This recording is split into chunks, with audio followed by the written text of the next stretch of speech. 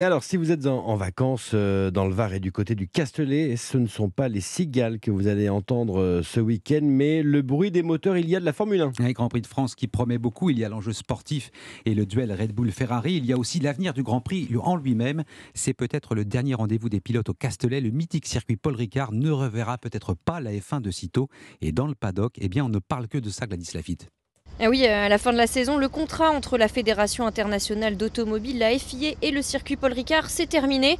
Et pour l'instant, il n'est pas renouvelé. Alors euh, forcément, ici, on s'inquiète que cette course mythique de mi-saison disparaisse tout simplement.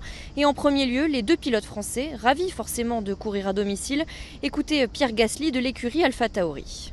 Je suis patriote et je défendrai euh, toujours euh, au maximum le, Grand Prix. Et personnellement, c'est un, Grand Prix qui apporte des émotions comme, euh, nulle part ailleurs. Donc je ferai toujours le maximum de mon côté pour, pour le garder.